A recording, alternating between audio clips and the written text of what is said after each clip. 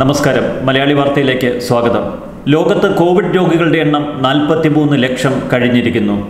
ഈ Covid nineteen രോഗത്തെ പിടിച്ചു പിടിച്ചുകെട്ടാനുള്ള സർവശ്രമങ്ങളുമായി ലോകത്തിലെ എല്ലാ രാജ്യങ്ങളും മത്സരിക്കുന്നു.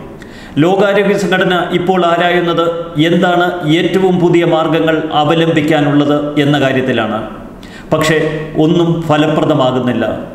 ഏതു വിധേനയും രോഗത്തെ പിടിച്ചുകെട്ടാൻ എന്തിനും തയ്യാറായി നിൽക്കുന്ന ലോകരാജ്യങ്ങൾ. ഇപ്പോൾ ദക്ഷിണാഫ്രിക്കയിൽ പോലും പുകയില ഉൽപ്പന്നങ്ങൾക്കുണ്ടായിരുന്ന നിയന്ത്രണം അവർ എടുത്തു കളഞ്ഞു. കോവിഡ് രോഗത്തെ പ്രതിരോധിച്ചു നിർത്താൻ വാക്സിന് മാത്രമേ കഴിയൂ എന്നിരിക്കെ ഒരു വാക്സിൻ ഫലപ്രദമായി വിപണിയിലെത്താൻ ഇനിയും ഒരു പക്ഷേ ഒരു വർഷത്തിലേറെ സമയമെടുക്കും എന്നതാണ് ഏറ്റവും വലിയ വേവലാതി. ഇന്നലെ ബ്രിട്ടീഷ് പ്രധാനമന്ത്രി ബോറിസ് ജോൺസൺ പറഞ്ഞത് ഒരുപക്ഷെ കോവിഡ് നയന്റീൻ പ്രതിരോധത്തിന് ഒരു വാക്സിൻ കണ്ടെത്താൻ കഴിഞ്ഞില്ലെങ്കിൽ പോലും അതിൽ അത്ഭുതപ്പെടേണ്ടതില്ല എന്നാണ്. നമ്മൾ കോവിഡ് രോഗത്തോടൊപ്പം ജീവിക്കാൻ പരിശീലിക്കണമെന്നും നമ്മളിൽ ഒരാളായി ഒരുപക്ഷെ ഈ രോഗം തുടരും എന്നുമാണ് ബോറിസ് ജോൺസൺ പറഞ്ഞത്. സമാനമായ പ്രതികരണം ലോകാരോഗ്യ സംഘടനയും നടത്തുകയുണ്ടായി. ഒരു വാക്സിൻ ഫലപ്രദമായി വിപണിയിലെത്താൻ കാലതാമസമെടുക്കുമെന്നും അതുവരെ കോവിഡിനോടൊപ്പം വേണം ജീവിതം തയ്യാറായി കൊണ്ടുപോകാനെന്നും ലോകാരോഗ്യ സംഘടന പറഞ്ഞിരുന്നു. കോവിഡ് ഭീഷണിയിൽ ലോകമാകെ ലോക്ക്ഡൌണിൽ തളച്ചിടുന്ന ഈ ഒരു അവസ്ഥ തുടർന്നാൽ സാമ്പത്തിക മാന്ദ്യത്തിലേക്ക് ലോകം കൂപ്പുകുത്തുമെന്നും കൊടിയ ദാരിദ്ര്യവും പട്ടിണിയുമായിരിക്കും ഫലമെന്നും അമേരിക്ക ഉൾപ്പെടെയുള്ള രാജ്യങ്ങൾ പറയുന്നു. അതുകൊണ്ട് തന്നെ അമേരിക്കയിലെ സംസ്ഥാനങ്ങൾ തുറക്കാനുള്ള കടുത്ത തീരുമാനമെടുത്തിരിക്കുകയാണ് ഇപ്പോൾ അമേരിക്ക.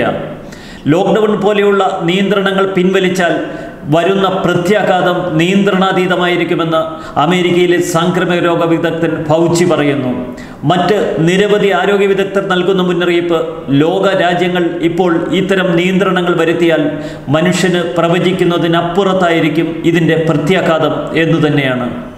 ഇന്ത്യ അഭിസംബോധന ചെയ്ത പ്രധാനമന്ത്രി നരേന്ദ്രമോദി ഇന്നലെ രാജ്യത്തോട് പറഞ്ഞത് നമുക്ക് അനിശ്ചിതമായി ലോക്ക്ഡൌണിലൂടെ രാജ്യത്തെ തളച്ചിടാൻ കഴിയില്ല. നമ്മുടെ സാമ്പത്തിക മേഖല തകർന്നു പോകും. അതുകൊണ്ട് രോഗത്തോടൊപ്പം ജീവിക്കാൻ നമ്മൾ പരിശീലിക്കണം. ഇത്തരത്തിൽ ലോകരാജ്യങ്ങളാകെ ഈ രോഗത്തോടൊപ്പം ജീവിക്കാനുള്ള തയ്യാറെടുപ്പുകളാണ് ഇപ്പോൾ നടത്തിക്കൊണ്ടിരിക്കുന്നത്. ലോകത്തിലെ ഈ പ്രത്യേക പ്രതിസന്ധി വിലയിരുത്താൻ യു എസ് സെനറ്റിന്റെ പ്രത്യേക ഹിയറിംഗ് ഇന്ന് നടക്കും. യൂറോപ്യൻ യൂണിയൻ രാജ്യങ്ങളിലെല്ലാം ഇന്ന് പ്രത്യേക മീറ്റിംഗുകൾ വിളിച്ചുകൂട്ടിയിട്ടുണ്ട്. അമേരിക്കയിലെ കോവിഡ് ടാസ്ക് ഫോഴ്സ് പ്രത്യേക യോഗം ചേർന്ന് ഇനി എങ്ങനെ ലോകം മുൻപോട്ട് പോകണം എന്ന കാര്യത്തിൽ കടുത്ത ആലോചനകൾ നടക്കുന്നു. കടുത്ത നിയന്ത്രണങ്ങളിലൂടെ ജീവിക്കാൻ ലോകത്തിന് മനസ്സില്ല എന്ന് ഉറക്കെ വിളിച്ചു പറയുന്ന തരത്തിലാണ് പല പ്രതിഷേധങ്ങളും വിമർശനങ്ങളും ഏറി വരുന്നത് ഒരു വേള പ്രാദേശിക ആരോഗ്യ അധികൃതരുടെ നിരോധനം പോലും മറികടന്ന് ടെസ്ല കാലിഫോർണിയയിലെ വാഹന ഫാക്ടറി തുറന്നു. ഇതിന്റെ പേരിൽ അറസ്റ്റ് വരിക്കാൻ തയ്യാറാണെന്ന് സിഇഒ ഇലോൺ മസ്കർ പറയുന്നു. കോവിഡ് രോഗത്തിന്റെ ഏറ്റവും ഭീഷണി നേരിടുന്ന അമേരിക്ക ഇപ്പോഴും കനത്ത വെല്ലുവിളിയിലാണ്.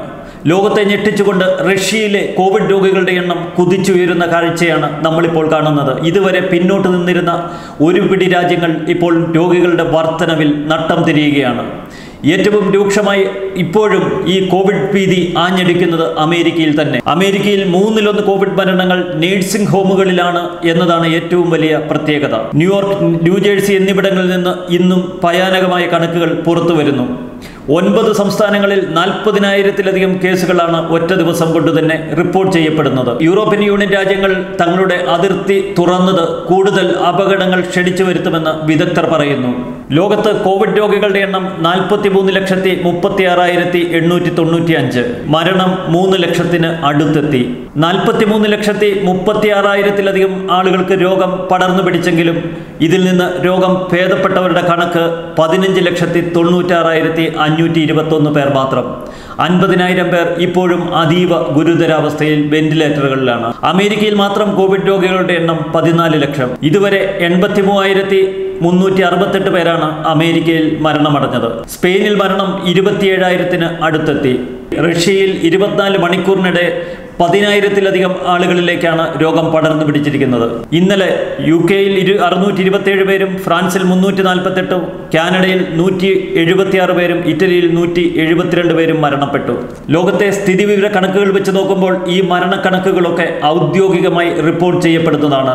എന്നാൽ അതിനപ്പുറത്ത് ഇതിനേക്കാൾ ഭയാനകമായ മരണസംഖ്യ ഉണ്ട് എന്നാണ് വിദഗ്ധർ പറയുന്നത്. ഒരു കാര്യം വളരെ വ്യക്തമാണ്. കോവിഡ് നയന്റീനെ പ്രതിരോധിക്കുക അത്ര എളുപ്പമല്ല. തൽക്കാലം കോവിഡിനോടൊപ്പം വളരെ സൂക്ഷ്മതയോടെ ജീവിക്കുക അത് മാത്രമേ നമുക്ക് മുന്നിൽ ഒരു മാർഗമുള്ളൂ. ലോകത്തിലെ രാജ്യങ്ങളൊക്കെ തങ്ങളുടെ എല്ലാ കഴിവുകളും ഉപയോഗിച്ച് ഈ രോഗത്തെ പ്രതിരോധിക്കാനുള്ള വാക്സിന് വേണ്ടിയും മരുന്നിനു വേണ്ടിയുമുള്ള നെട്ടോട്ടത്തിലാണ്. പക്ഷേ മനുഷ്യർ നിസ്സഹായരാകുന്ന അവസ്ഥ.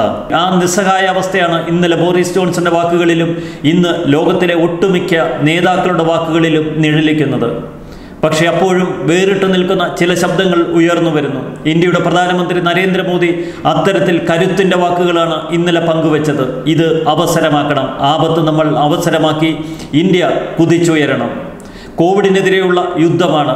ലോകത്തെവിടെയും നടക്കുന്ന ആ യുദ്ധത്തോടൊപ്പം ഇന്ത്യയും കേരളവും ഒപ്പത്തിനൊപ്പം മുന്നേറുന്നു. പോരാട്ടത്തിൽ മുഴുകിയിരിക്കുന്നു. ന്യൂസ് ഡെസ്ക് മലയാളി വാർത്ത.